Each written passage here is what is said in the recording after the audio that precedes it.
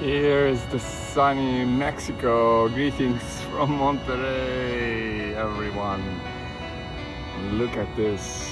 This is a beautiful blue sky.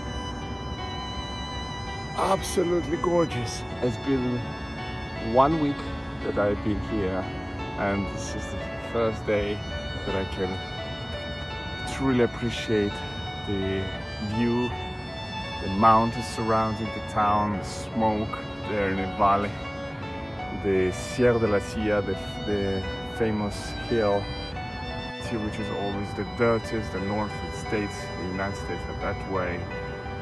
And yeah, the city itself is pretty ugly, you can see nothing special, but again, the blue sky, special. I've been missing the blue sky. I wish everyone has blue sky above your head, the sun shining.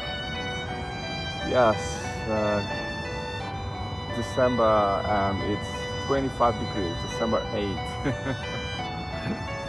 Great, isn't it? Jeez,